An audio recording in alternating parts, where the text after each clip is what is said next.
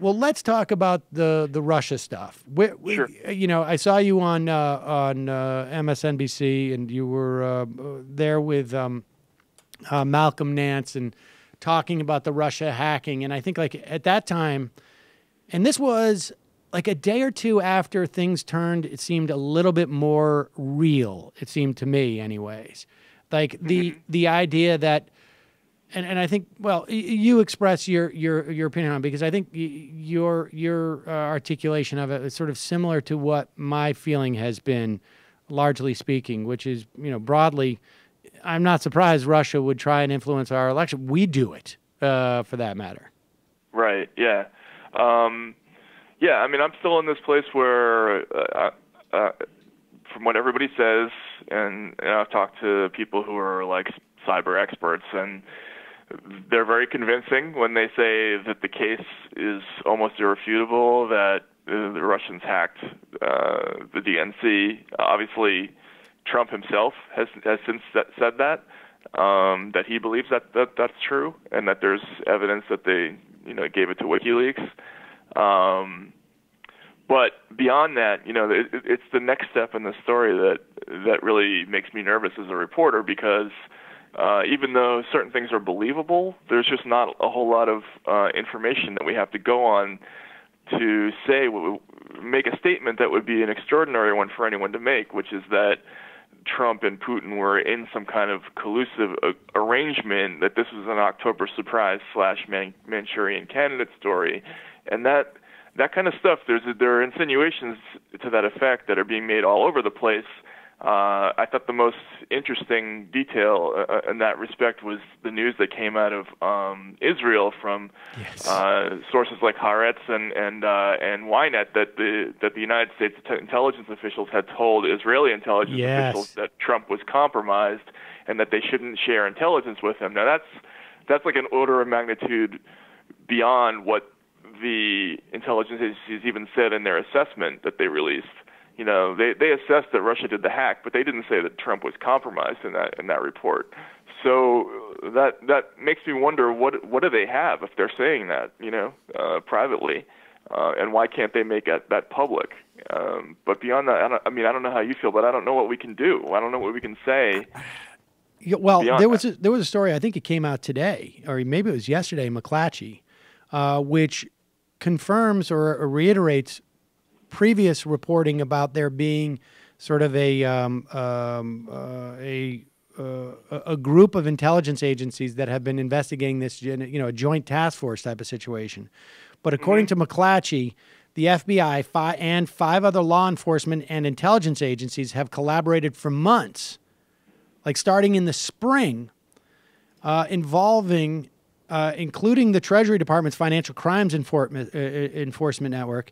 One of the allegations involves whether a system for routinely paying thousands of Russian American pensioners may have been used to pay some email hackers in the United States or supply money to intermediaries who would then pay the hackers.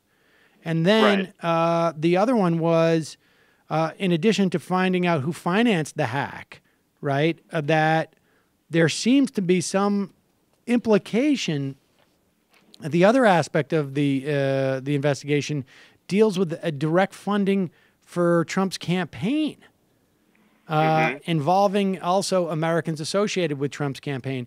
And then there were the reports you saw this right, where uh, there was a FISA warrant that was rejected in June, a FISA warrant rejected in July, and then one we don't know if it was rejected in October, but there the there was sort of like Well- some notion that it was was the Part granted. of it was accepted. yes. The, the, the, it, was, it was accepted on the Russians, and it was rejected with vis-a-vis the Americans. So what do you So- make of that? So, but again, this is like, uh, if you're a reporter, what can you report here? You can report at most the existence of an investigation, but Right. the, you know, the, the, I mean, anybody can start an investigation into anything, and that doesn't tell you anything about, you know, the, what what kind of facts they have. If we had the warrant application for the FISA situation, we might we might know exactly what they have and what their basis for thinking something is. But my my sense is that if FISA, the FISA court, which is you know takes place in secret and has a very low standard, you know they almost never decline warrants from what I've seen in previous stories about the FISA court. For them to to decide not to give a warrant against somebody twice. makes me think that yeah, twice or three times even, right? Because you know, we don't know about of, right. Yeah. So, you know, it, it, that that doesn't tell us anything. Again, like the the idea that they're investigating this stuff, um, you it, it doesn't give us any information about what the actual there there is. You know, Right. and that that's what's so frustrating about this story is that. You know, to me, there are really only two possibilities here. I, either we have a compromised president, which is like this incredible, once in history kind of a thing to happen, or we have what has to be on some level some kind of organized campaign to make us think that the intelligence agencies believe that, and that would also be extraordinary because that would be meddling, meddling in the Right. domestic discussion uh, a, on a level that you know the CIA and the FBI and you know the NSA have never done before, or at least that we know about, right? So Right, right. um, uh, you know, both both. I don't see. Could it be anything else? I, I just don't see how how it could be anything else.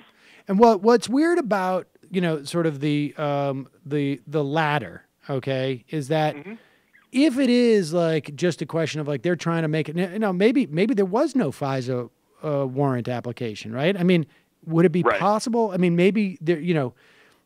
Maybe there was maybe the the June and July applications and the October app never even existed because throughout those three points, there's nobody who could have really thought like this guy's going to be president and we want to undercut him. We're, we're to we're going to start the project undercut Donald Trump as president in July or June of 2016 everyone would look around going like you're crazy man like why are you wasting your time let's undercut Clinton Right. you know like like that's the part that that sort of strikes me um when and But that cut. I mean, that cuts both ways, though. I mean, I, you can interpret that in a couple of ways.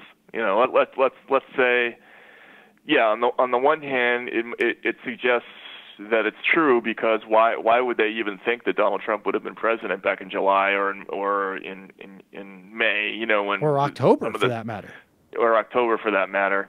Um, but on the other hand, you know, you have a Democratic administration, and you know, it's it's conceivable that you know maybe this was on some level, you know, let's I don't know. I mean, it's it's it's so hard to say, but uh, both things just stretch credulity to such a degree that it's hard to um, wrap your head around it i mean yeah, exactly. Have you It- done- It, it's it's hard to wrap your head around the idea that he could actually be compromised, and it's also hard to wrap your head around the idea that the, the you know Well- that somebody was out to create this this the impression that Well, he wait. was. The, um, the compromise thing is is is somewhat different. Let's just be clear here. There's there's there's two ways. There's two issues with his relationship with Russia, right? That are at least you know discussed. One is that they've been sort of blackmailing him, right? Because Mm-hmm. um, they have.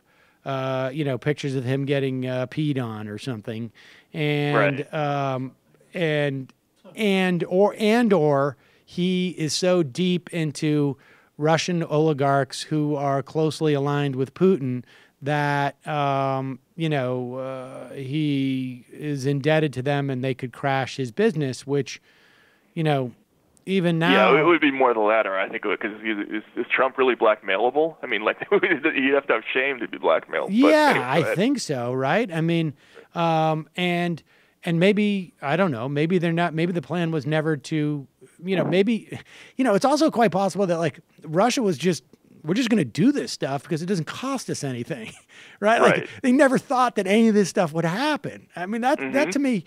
I think like the most obvious explanation for all of this is like everybody's operating without thinking that it was going to go this far. I mean, just sort of like in the same way that we all thought like, yeah, Trump maybe maybe he'll do well in the primary. Ah, maybe he'll win the primary. well, Right. maybe he'll maybe he'll make it a little bit closer than we thought. And then holy shit, he won. I mean, there's nobody in this process, whether, you know, regardless of what anybody believes, whether it was like Putin or uh, Russian hackers or James Comey, who could have predicted, you know, in mid October, Trump's going to win if we do X, Y, or Z. Nobody would have thought that. That would have been ir- Right. irrational. And Right. I mean, it, I think like even I was speculating yesterday the narrative about Comey could be completely wrong. He could have, for all we know, on October 26th when he came out, or whatever it was, October 20th when he came out with that letter, uh, he could have been doing that because he thought we may end up indicting Donald Trump. And if I don't uh, go out of my way to show that I was willing to, um, you know, investigate Hillary Clinton, um, it might be difficult to indict him once she becomes president. Right. I mean, because yeah, that's, you that's possible. I mean, it's who knows. I mean, I'm not saying it would be the smart thing to do, but it, you know, it's like there's some logic to it. Like, oh, Donald Trump's not going to win the election. We just got our FISA court warrant. Uh, I'm getting feedback that this thing could be for real. Um, and now this letter that I've been sitting on for three weeks about uh, Hillary Clinton, I'm just going to send it in so she's inoculated from any sort of charges of uh, of retribution because he claimed he was going to prosecute her after the election. And then Huh, all of a that's sudden, really interesting. I never thought of that. Yeah, I that's, mean, that's possibly. it, it's possible. I mean, that, that maybe because you know why doesn't Comey tell uh, these Democratic congressmen, "I'm not investigating Trump anymore"? Why? Why would he? Why would he not close the door on this? Right. Right. Yeah, that's that's that's very true. I mean, uh, and even the fact that, that they kept it close to so close to his vest. I mean, it. He must have known how explosive that was. So you know, they. Yeah, it, it's it's really interesting. It, it, it underscores how conscious of a dis- of a decision it must have been to leak the Hillary news. Um, you know that that clearly that was a huge step, and they must he must have put a lot of thought into whether or not he was going to do that. Um, you know, given that they didn't do that with the on the Trump side. Yeah, and I mean, I'm sure you've you've run into um, uh, USAs who who do uh, public corruption. What Comey did was completely unheard of. Right.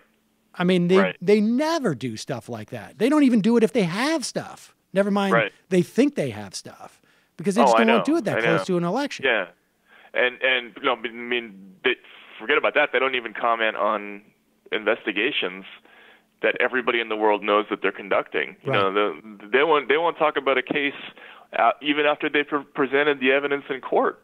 You know, like if you if you ever covered like a, a Justice Department case, uh, you, know, you try try to get a you know a government spokesman to even say, well, what was tell me about what what you know that that exhibit that you brought into trial today.